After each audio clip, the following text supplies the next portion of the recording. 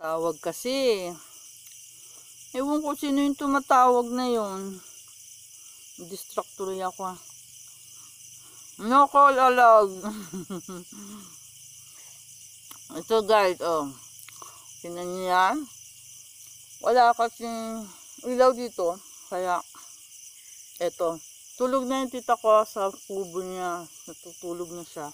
Ako gising pa. Eto. Kain ako ng kamote. Nagluto siya. Kakakuha lang talaga namin to sa lupa. Kaya fresh na fresh talaga siya guys. Mm. Iba talaga dito. Sa totoo lang.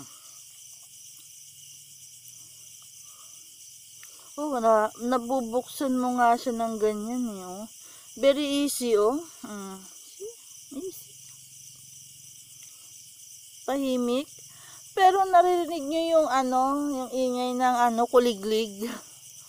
Kaya halata talaga na nasa province ako, guys. Hmm?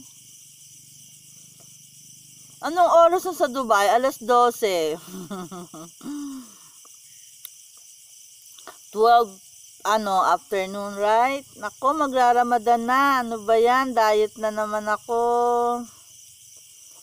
Ramadan Kareem sa mga Muslim dyan, mga sister and brothers. Hmm. Mm. Bago ako umalis, siyempre, nagluto na ako pagkain ng father ko. Nagluto ako ng manok, tsaka isda, at tsaka sabaw. Yung sabaw,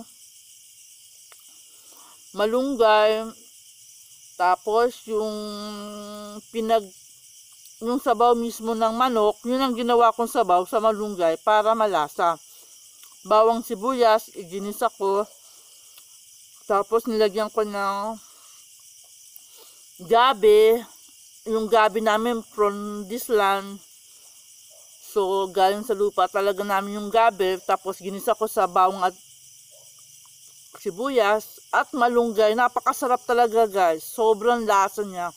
Tapos yung yung sabaw ba ng manok na, di ba, pakukulaan mo yung manok bago iprito kasi malansa siya, di ba? Tapon mo. Yung pangalawa nun, pakuluin mo.